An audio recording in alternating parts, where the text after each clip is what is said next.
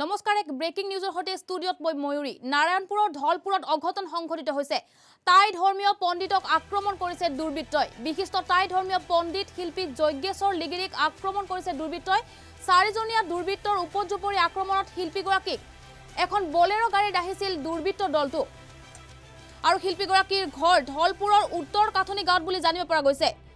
ধলপুৰ গ্ৰাম্য চিকিৎসালয়ৰ সন্মুখত এখন সাধাৰণ পাণ তামোলৰ দোকান দি পৰিয়াল পোহপাল দি আহিছিল শিল্পীগৰাকীয়ে। আৰু এই ঘটনা সংঘটিত হৈছে নাৰায়ণপুৰৰ ধলপুৰত। নাৰায়ণপুৰৰ ধলপুৰত চাৰিজনীয়া দুৰ্বৃত্তৰ দলে শিল্পী শিল্পীগৰাকীক আক্ৰমণ কৰিছে।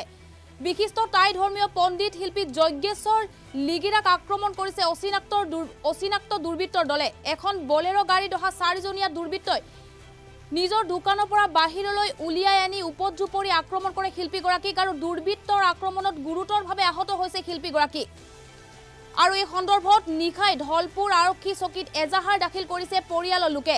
আৰু শিল্পীগৰাকীৰ ঘৰ ধলপুৰৰ উত্তৰ কাঠনি গাঁৱত বুলি জানিব পৰা গৈছে। সদৌ অসম পয় ফুৰলাং সংঘৰ মলুং হিচাপে কাম কৰা তথা হেম গোহাঁই বঁটা প্ৰাপক শিল্পীগৰাকীক এইদৰে আক্ৰমণ কৰা কাৰ্যই সমগ্ৰ অঞ্চলটোৰ তীব্ৰ চাঞ্চল্য সৃষ্টি কৰিছে। আৰু এই ঘটনা সংঘটিত হৈছে নাৰায়ণপুৰৰ ধলপুৰত আৰু এই সন্দৰ্ভত আমাক অধিক তথ্য জনাব আমাৰ সতীৰ্থ সাংবাদিক পৰিমিতা চেতিয়াই। হয় পৰিমিতা? হয় পৰিমিতা এই সন্দৰ্ভত আপোনাৰ হাতত অধিক তথ্য কি আছে?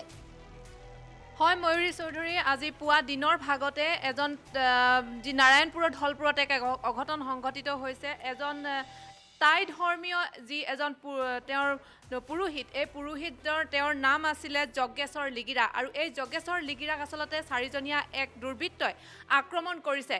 তেওঁৰ এখন দোকান আছিল আৰু সেই দোকানখন কোনোমতে চলাই তেওঁ জীৱন নিৰ্বাহ কৰিছিল পৰিয়াল পোহপাল দিছিল আৰু পৰিয়ালটোৰ একমাত্ৰ উপাৰ্জনকাৰী আছিল তেওঁ আৰু তেওঁক আজি চাৰিজনীয়া এক দুৰ্বৃত্তৰ দলে এখন বলেৰ' গাড়ীত আহি তেওঁক উপৰ্যুপৰি আক্ৰমণ কৰে। দোকানৰ ভিতৰৰ পৰা টানি আনি তেওঁক উপৰ্যুপৰি আক্ৰমণ কৰে। তেওঁক কাপোৰ ফালি দিয়ে আৰু যাৰ ফলত সমগ্ৰ অঞ্চলটোৰ তীব্ৰ চাঞ্চল্যৰ সৃষ্টি কৰিছে।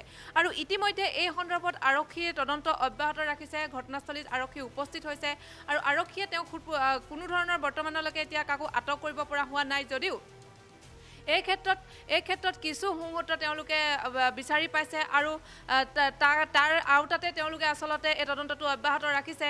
আৰু এই মুহূৰ্তত এটা গুৰুত্বপূৰ্ণ খবৰ আহি পৰিছে যে অতি গুৰুতৰভাৱে আঘাতপ্ৰাপ্ত হৈ পৰিছে তেওঁ আহ, যজ্ঞেশ্বৰ লিগিৰা। আৰু এই যজ্ঞেশ্বৰ লিগিৰা আচলতে এজন আহ, পুৰোহিত আছিলে। টাই পুৰোহিতৰ উপৰি তেওঁ এখন সৰু সাধাৰণ দোকান দি তেওঁ জীৱন নিৰ্বাহ কৰিছিলে পৰিয়ালটো পোহপাল দিছিলে। মই পুনৰ এবাৰ জনাইছোঁ পোহপাল দিছিলে আৰু তেওঁ এদল অচিনাক্ত দুৰ্বৃত্ত আহিছিলে চাৰিজনীয়া দল।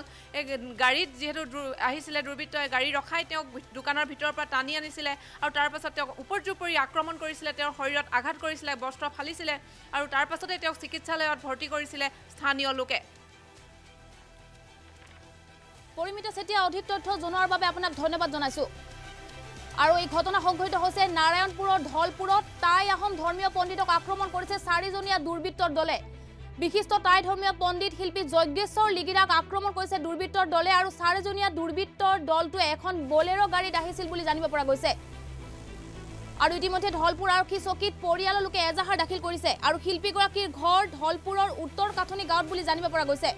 সদৌ অসম পয় ফুৰালুং সংঘৰ মলুং হিচাপে কৰ্ম কৰা তথা হেম গোহাঁই বঁটা প্ৰাপক শিল্পীগৰাকীক এইদৰে আক্ৰমণ কৰা ঘটনাই সমগ্ৰ অঞ্চলটোৰ তীব্ৰ চাঞ্চল্য সৃষ্টি সৃষ্টি হৈছে। আৰু এই ঘটনা সংঘটিত হৈছে নাৰায়ণপুৰৰ ধলপুৰত।